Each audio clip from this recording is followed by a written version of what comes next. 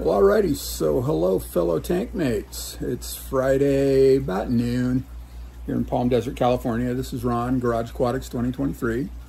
Um, I've had a bit of a quandary going on here. Let me share it with you. This is one of my 20 gallons along the bottom of this rack. This one on the end, it's uh, red cherry shrimp. The one with the little Nemo planter in here is uh, orange sun-kissed neocaridinae with uh, a couple otocinclus. I'm going to skip this tank because that's one we're coming back to.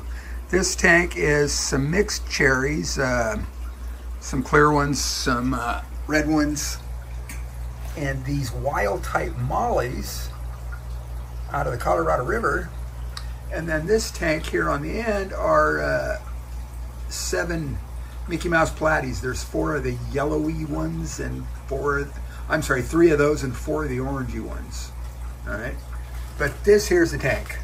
This one's full of Blue Dream, Neocaridina. There are seven panda cories and two little plecos uh, of whatever species unknown. And then there's plants. And it's just sand on the bottom, I believe, is all I put in this one. It's been a while now.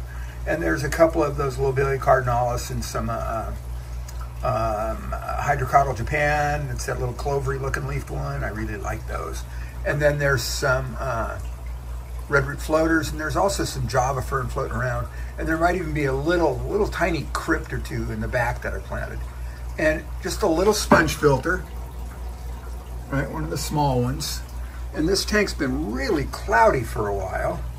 Uh, it just got that way all of a sudden.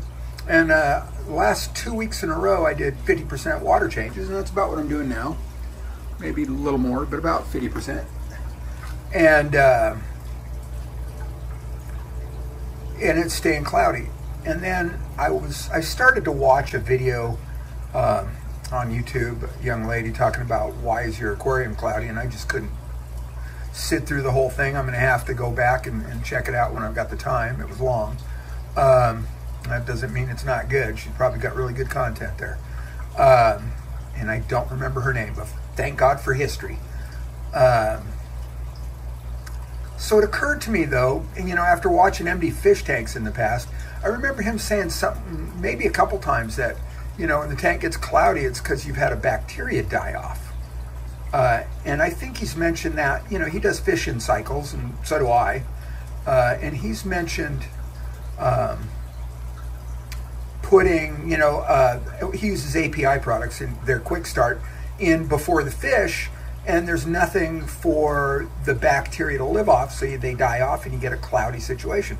Well, I got um, lots of stuff for, you know, creating creating waste. There's there's got to be easily a hundred plus little blue dream shrimp in here, plus the, the seven, eight, nine fish I mentioned. Uh, but there's plants. There's not a lot of uh, heavy root feeders like a lot of bigger crypts or anything like that. Um, I think I need to put some in here. But anyway, and the sponge filter was like, I, I cleaned it out and it was, you know, looked like a, a, cup of really strong espresso. So I rinsed that out and put it back in the tank.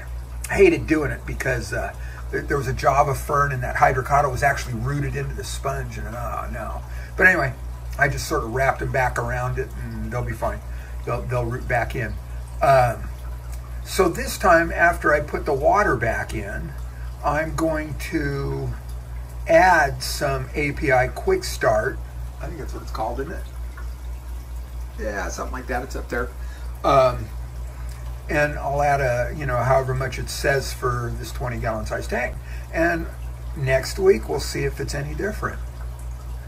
So anyway, and then with this water that I've got here that I've taken out of the tank, I've got these uh, three hang on back filters, the Aqua, what are they called? Aqua Clear? Yeah, Aqua Clear.